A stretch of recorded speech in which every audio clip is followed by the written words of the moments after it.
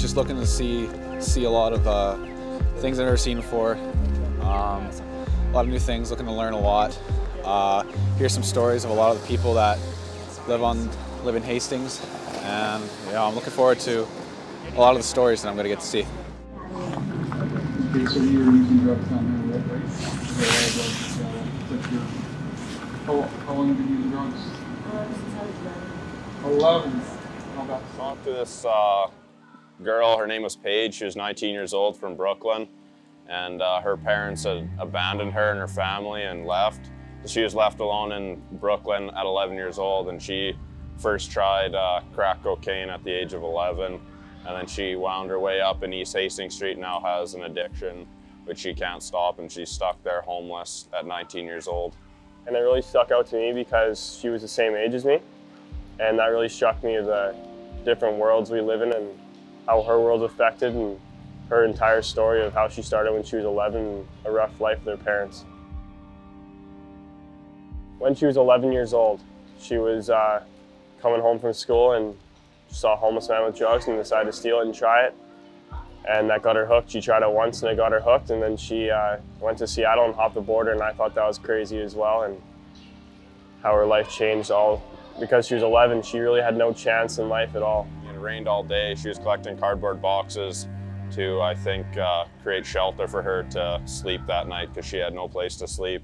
And it was really wet on the ground so that she was collecting boxes for her to sleep. She said she was 19 years old, but the wear and tear on her body from addiction, she definitely didn't look like a 19 year old person that I would see in my everyday life on my hockey team or at school. Paige, the, her addiction has uh, paid a huge toll on her body and she doesn't look like a 19 year old per girl that you would see in everyday life. She, she wished she had more support and uh, a lot more support. Like obviously when a young age you need that support and you need that care from your parents and that guidance and she didn't have that and I mean, that made me feel really bad for her.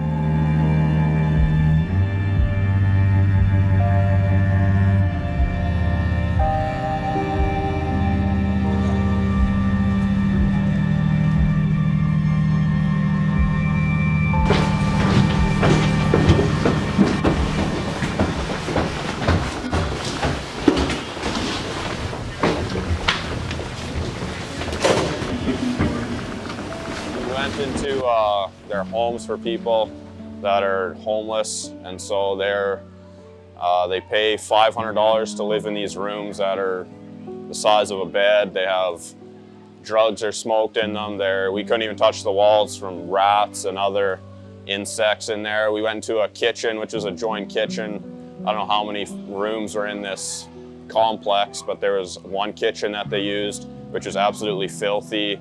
There was, I think what it was, was pee on the floor, filth, and this is what these people cook and live in, and yeah, it was, it was really tough to see. Okay.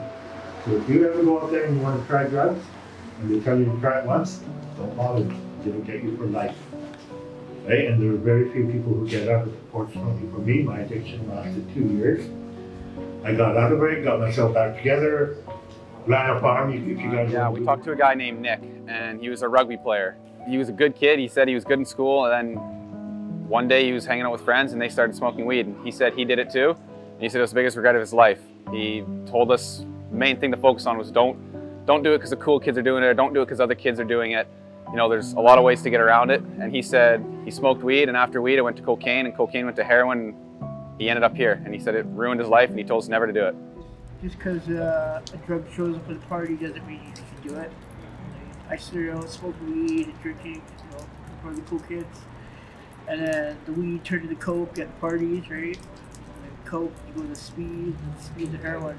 Was Yeah. it was it one time kind of that got you hooked on it, or Um, was it kind of The first over? time, you, you get the fix, right? And then you always got the itch for it, and it progresses, right? And that's where the chase, right, comes into it, right? Because you're always chasing not that first high, Yeah. and you're never getting it again, right?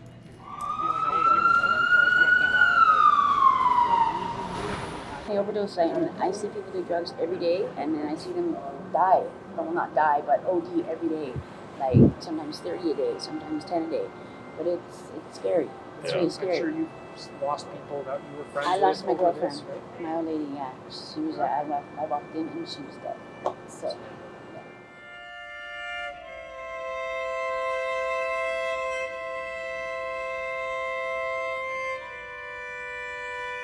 Yeah, it's just crazy to think that two blocks can be like 50% of the crime in Vancouver. And then you can go over another two blocks and it's ritzy and updated and and people who aren't doing drugs on the street and are having a good time and not afraid of getting stabbed or something. It's just, it's crazy. It's really eye-opening. Um, it made me feel uh, like I wanted to help and wanted to reach out with them. Like hearing their stories and how helpless they were, and it wasn't really, it's not really a choice. Like we talked to one man, and he said he didn't like his addiction, and like I thought that it was just easy to stop, and how made me realize how hard it actually is to stop your addiction, and it's not really their choice. Like they're stuck there. They want to get out, but they're just stuck. They're just feeding their addiction. It really opens your eyes to what reality is for other people. You can kind of get stuck in your own world out in what you are, and I guess what they call uh, first world problems of, and then you go down there and you see what people actually live through and what problems are actually like, and you just you can't take anything for granted because we're fortunate enough to live the life that we do, and I get to go to the hockey rink and do what I love every day, and these people, they.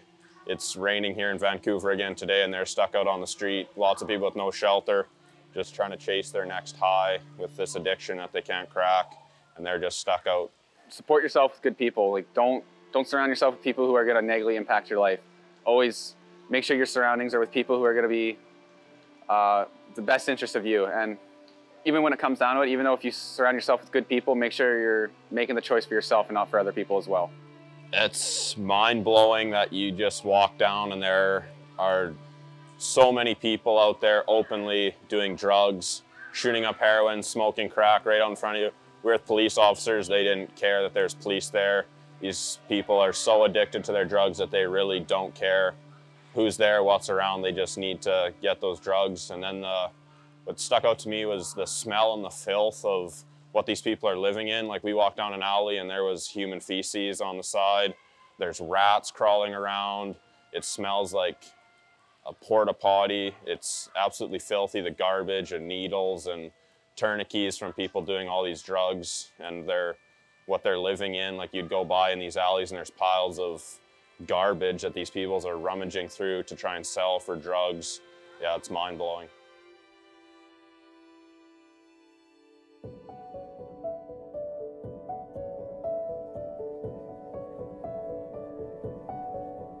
I'd probably say no, then I'd try to ask them why they're doing it and try to be the best friend I can be and help them get out of that situation.